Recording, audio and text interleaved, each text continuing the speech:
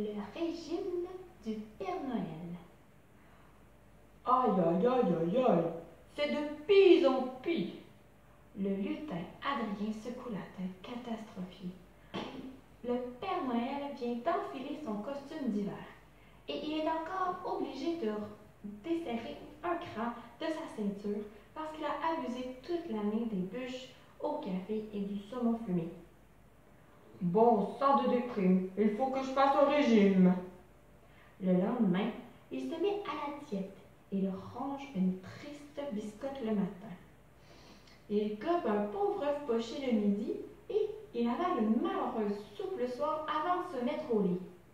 Pauvre Père Noël, toute la nuit, il rêve de chapons dorés poursuivis par les pommes de terre sautées.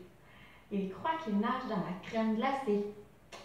À son réveil, il se précipite sur le réfrigérateur en rugissant comme un ours polaire. Mais il a beau le secouer en tous les sens, la porte refuse de s'ouvrir. Une grosse chaîne bloque la poignée. Et c'est Adrien qui a les clés. Hmm. Privé de sens, le Père Noël maigrit, maigrit. Chaque jour, il gagne un cran de ceinture. Mais, moins il pèse de kilos, moins il est rigolo. Il ne chante plus fort en réparant son traîneau. Il ne se déguise plus en reine pour faire rire. Il ne cache plus les outils des lutins dans leur traversin. Hum, ça va pas bien, l'âne. Hum, qu'est-ce qu'il va faire?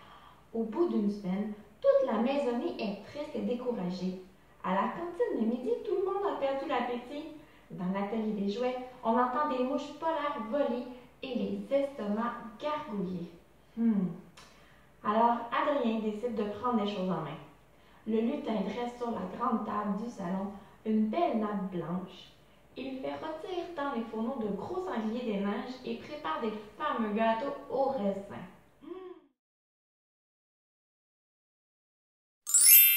Ce soir-là, tout le monde se retrouve autour du festin. On mange, on boit. Pour la première fois depuis des jours, on entend des chants, des rires.